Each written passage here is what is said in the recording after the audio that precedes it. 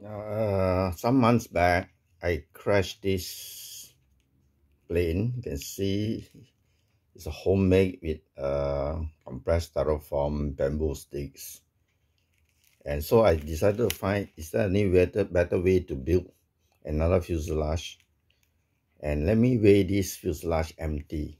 As you can see from here, the weighing machine says 32, 32 grams. So I marked that 32 grams. So now I decided to build the same plane. This this is made from a thinner type of corrugated plastic board. Now it's built exactly the same as that almost the same dimension to compare.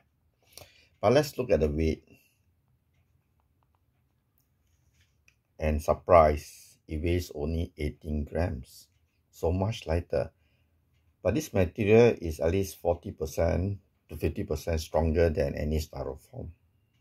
Yet it is so light. Next is to we'll wait for the next video, see whether how the plane will fly when I put this beautiful also a corrugated plastic wing onto this plane.